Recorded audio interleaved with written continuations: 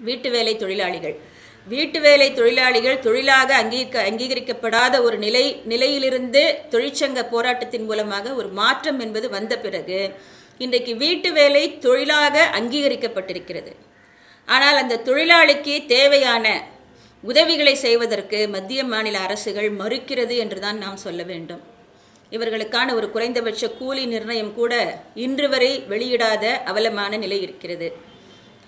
ILO சர்வதேச தொழிலாளர் ஆணையம்.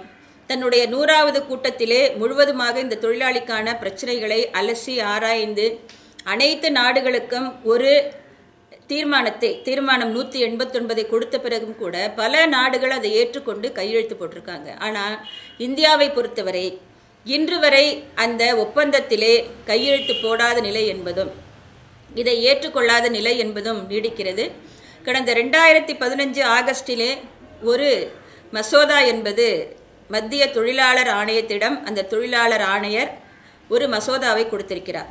அதிலே குறைந்தபட்சமாக ரூபாய் ஒன்பதாயிரம் வீட்டு வேலை தொழிலாளிக்கு சம்பளமாக கொடுக்கப்பட வேண்டும் என்பதும் அவர்களது கல்வி ஆரோக்கியம் மருத்துவம் போன்ற அனைத்து செலவுகளையும் அரசு ஏற்க வேண்டும் என்பதும் அதே போல ஒரு முத்தரப்பு குழு வேலை அளிப்பவர் வேலை செய்பவர் தொழிற்சங்க பிரதிநிதி என்ற முத்தரப்பு குழு அமைத்திட வேண்டும் என்பதும் அதிலே அவர்கள் வந்து பரிந்துரையாக கொடுத்துருக்காங்க. அந்த பரிந்துரை இன்னும் பரிந்துரையாகவே இருக்கிறது.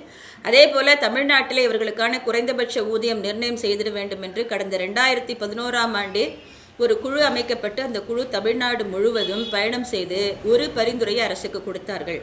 அந்த பரி- பரிந்துரை தமிழக அரசால் நிராகரிக்கப்பட்டு மீண்டும் ரெண்டாயிரத்தி பதினாறிலே ஒரு குழு அமைக்கப்பட்டு இந்த குழுவும் தமிழ்நாடு முழுவதும் பயணம் செய்து மீண்டும் ஒரு பரிந்துரையை தமிழக அரசுக்கு கொடுக்கப்பட்டிருக்கிறது.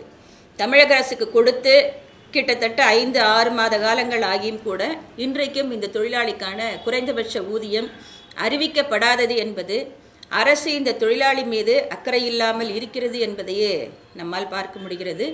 இது மட்டுமல்ல இன்றைக்கு பெண் தொழிலாளிகள் பணியிடங்களிலே ஏற்படக்கூடிய பாலியல் துன்புறுத்தல் பெண்கள் மீதான வன்முறை இன்றைக்கு இதற்கெல்லாம் சட்டம் இருந்தாலும் கூட இந்த சட்டம் தொழிலாளியை பாதுகாப்பதற்கான சட்டமாக.